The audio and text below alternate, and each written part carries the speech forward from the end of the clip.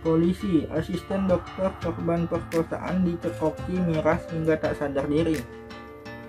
Seorang pria berinisial ATP 31 tahun ditangkap polisi atas dugaan pemerkosaan terhadap perempuan berinisial N.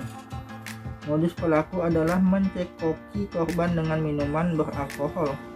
N disuguhi minuman alkohol dalam rangka minum-minum cantik, kata Kabit Humas Polda Metro Jaya Kombes Yusri Yunus dalam keterangan kepada wartawan Kamis 28 Mei 2020.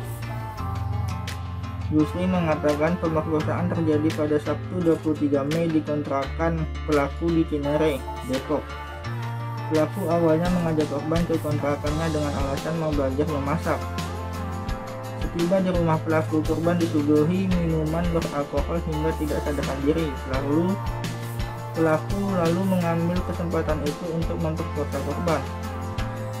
Pada saat korban tidak berdaya karena dalam efek alkohol, korban diperkosa sebanyak satu kali, kata Yusri.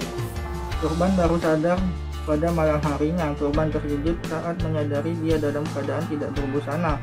Setelah itu korban melaporkan kejadian tersebut. Polisi kemudian menangkap pelaku. Pelaku dijerat dengan pasal 286 KUHP tentang tindak pidana persetubuhan terhadap korban yang tidak berdaya, tandas Yusri.